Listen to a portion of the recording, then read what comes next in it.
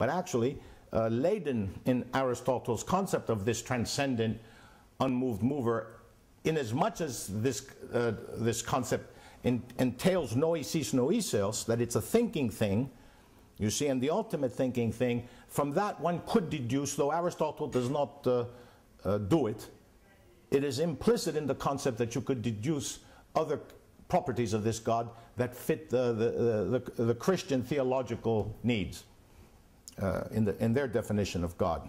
But that's, a, that's something that happened historically. That's something that happened and has debate surrounding it and, and, and, and so on, you see.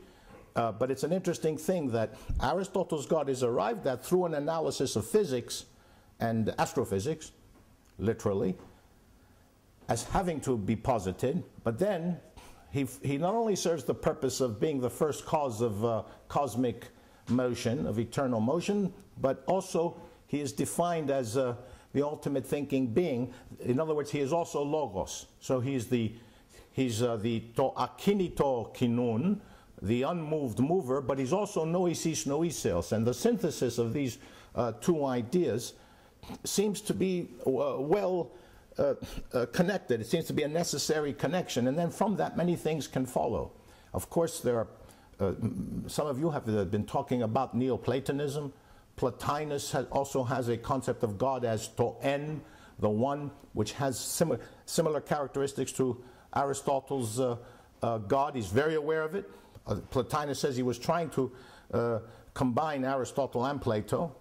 Of course, he wanted to preserve all of what he felt was the correct understanding of Plato that he felt was threatened and could have been lost. But um, most of the commentators have said that he also is very aware of Aristotle's God and he, he, he, he has succeeded in a synthesis of uh, the best aspects of Aristotle's notion of God and, uh, and, and Plato's, because Aristotle does not finish the uh, deduction. He establishes noesis noesios and he, uh, and he leaves it uh, alone. Now, um, the Catholic Church is happy with Aquinas's deductions from Aristotle's noesis noesios, his gloss on logos. See, logos becomes nous, becomes noesis noesios, and then uh, becomes for, for Aquinas uh, in, intelligence, intelligere. And so uh, the, the Catholic Church feels that God is ultimately uh, rational. Now, the big debate in the Middle Ages at the time, in the 13th century with the schoolmen, with Aquinas and uh, Saint Bonaventure and the others, was um, whether there is primacy of will or primacy of intellect in God. In short, today, uh, Aquinas says that will is derived from intellect. Intellect has primacy. Some of the thinkers felt that will has primacy.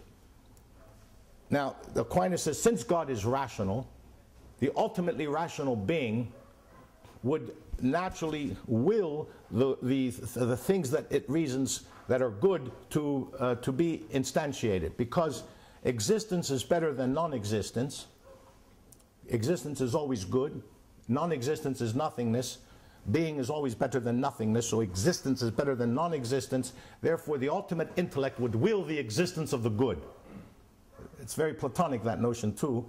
And so, if it would will the existence of the good, it would also desire the good.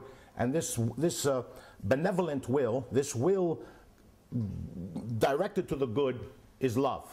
So you can, you can deduce the God of love uh, from the God of intellect.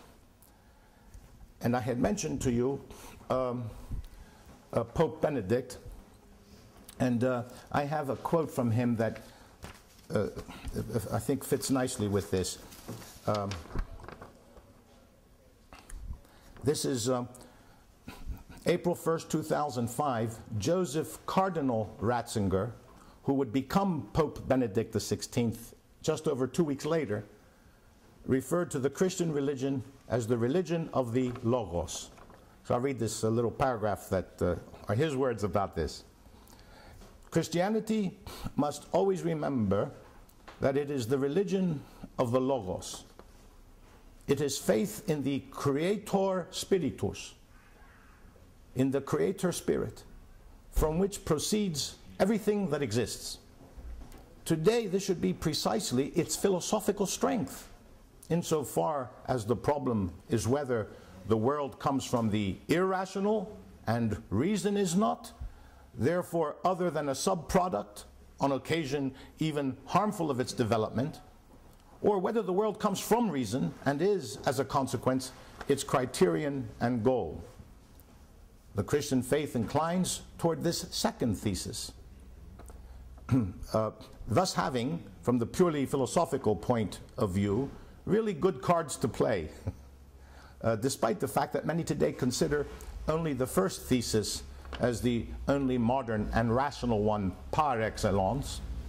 However, a reason that springs from the irrational, and that is in the final analysis itself irrational, does not constitute a solution for our problems. Only creative reason, which in the crucified God is manifested as love, can really show us the way. In the so necessary dialogue between secularists and Catholics, we Christians must be very careful to remain faithful to this fundamental line, to live a faith that comes from the Logos, from creative reason, and that, because of this, is also open to all that is truly rational. Here, uh, Catholics, uh, end, of, end of quote. Catholics can use Logos to refer to the moral law written in human hearts. This comes from Jeremiah prophecy of uh, the New Covenant. Quote, I will write my law on their hearts. St. Justin wrote that those who have not accepted Christ but follow the moral law of their hearts, Logos, follow God because it is God who has written the moral law in each person's heart. Though many may not explicitly recognize God, he has the Spirit of Christ if he follows Jesus' moral laws written in his heart. According to uh, Father William Most's article for Catholic Television Network, those who have the Spirit of Christ belong to the body of Christ. He writes, quote, those who follow the Spirit of Christ, the Logos, who writes the law on their hearts are Christians, are members of Christ, are members of his church.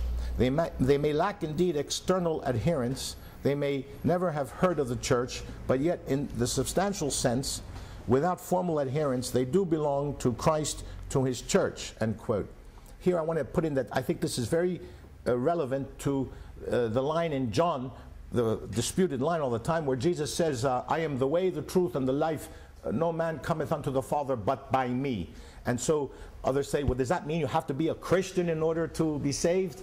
And there are two interpretations of this, and one is the fundamentalist one that if you're not a Christian, uh, you're lost. And the other is the ecumenical one, where the moral law is written on one's heart. So a, a good uh, person who is secular or Buddhist or Chinese, not non-Christian or whatever, if this person is following the moral law, then he has the law of God written on his heart. So when Jesus says, uh, uh, uh, "No man cometh unto the Father but by me," he means uh, by me. He means uh, by my moral law, and it would be human conduct that would gain entry into heaven, not uh, just believing in, in, in, in Christ. Uh, well, you know, that's a famous theological dispute about the role of faith versus works and, and so on.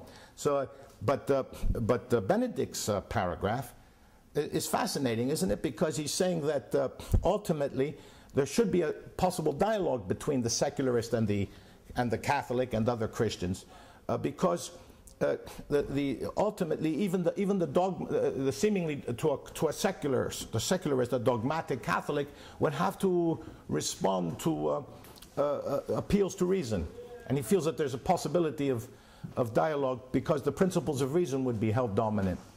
Of course, uh, I mentioned before that later when he became pope, he made a similar speech to this, speaking about jihad and um, uh, the problem of violence in, in, in Islam and uh, the, the, you know, the use of, of force uh, uh as, understood. And he, he quoted uh, a Byzantine emperor, the next to the last Byzantine emperor before the fall of Byzantium, who had said, what have, uh, what have the Muslims given us except the sword and, uh, and violence? Which was a despair by this uh, felt by this Byzantine emperor, you know, who, who was about to be overwhelmed. Uh, and he, he